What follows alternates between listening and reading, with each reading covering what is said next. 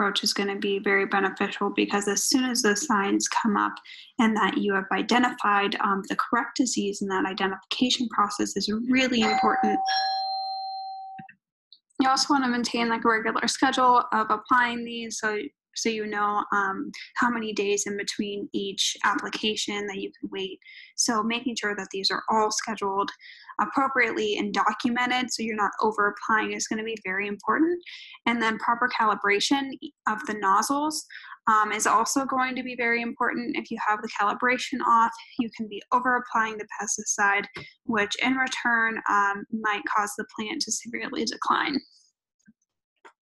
You want to make sure that you're wearing the corrective um, PPE, which is personal protective equipment, um, and that will depend on what kind of pesticide that you're using, and that will be found on the label, and the safety um, precautions that you need to be taking while applying these pesticides.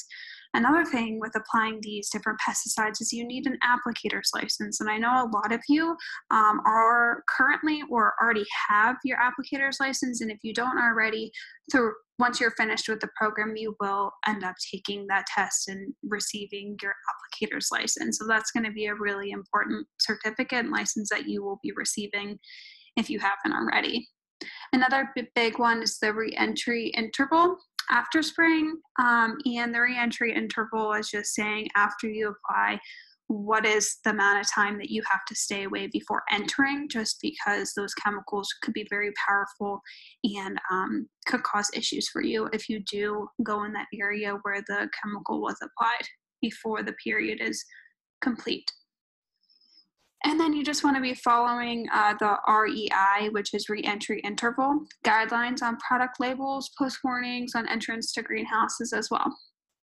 And then the choices of the active ingredient ingredients are limited um, just because we are dealing with the greenhouse controls, but um, there is still a lot available, which we will go over in the next couple slides.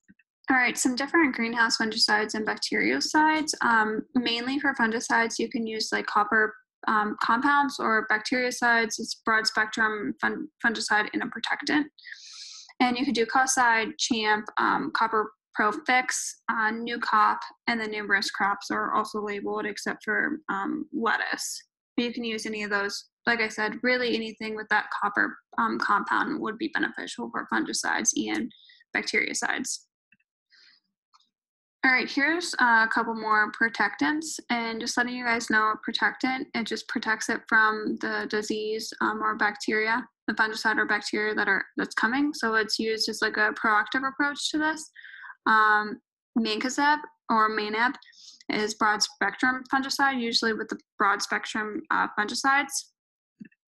And broad spectrum fungicides, broad spectrum in general means it has a broad view of um, a lot of the different fungicides that it will take care of. Um, and that's the Kocide, Champ, uh, Cuprofix.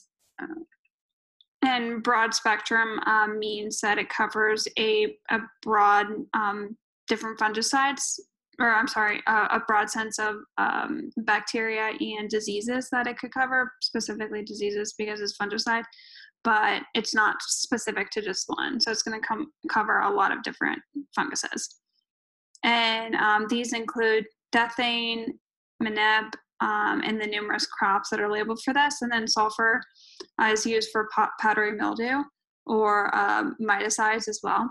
And this is again protectant and dusting sulfur. There's various brands for this, wettable sulfur, and the numerous crops are, are labeled uh, excluding lettuce crops. And then we have Botran 75W, and that controls botrytis, covers cucumbers, lettuce, and tomatoes. Decree also controls botrytis or gray mold, um, more of the fruiting vegetables and cucurbits and leafy greens. Um, Previcur Flex is mostly those root rots, pythium, phytophthora, damping off diseases. Scala is the control of Alternaria and uh, botrytis again, that gray mold, and um, the Terramaster EC control of Pythium. So here's a couple different fungicides that are used for greenhouses with softer chemistries and it's organically approved. And this is uh, Bacillus subtilis, which is broad spectrum fungicide. Uh, Serenade Max is um, the name that you guys will most likely hear for this and it's approved in um, most greenhouse vegetables as well. And then you guys are familiar with this, like with hydrogen peroxide. So there's different peroxides. It's a broad spectrum fungicide for bacteria. Um, and it's approved in, in, most greenhouses with a low residue activity, um, and it's frequent if applications are needed. So the management of bac- bacterial spot and canker, bacterial um, disease in general, is really prevention is the primary uh, tool to manage those bacterial diseases using pathogen-free seeds and transplants. Um, avoid saving those seeds from previous crops. Heirloom growers uh, make sure they're using that hot water or bleach soaks, and then use resistant varieties.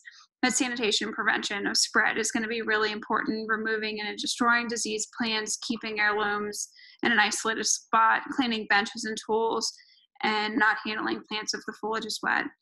Um, if you're doing overhead irrigation, um, do it early in the day and don't overwater. And then you can also apply that streptomycin on a five to seven day interval, and that's going to decrease that um, bacteria that's occurring with your plant material. And you can also be applying the copper as well. For viral diseases, there are no chemical options to decrease viral diseases. Um, but cultural, just use resistant varieties if available, and then don't plant ornamental and vegetables in close proximity to each other. And then try to avoid handling tobacco products and wash hands frequently. You can clear weeds around fields and greenhouses and then control the insect vectors in the greenhouse. Those vectors are going to be a, a big um, factor in this virus disease management. So, really controlling those vectors as best as possible.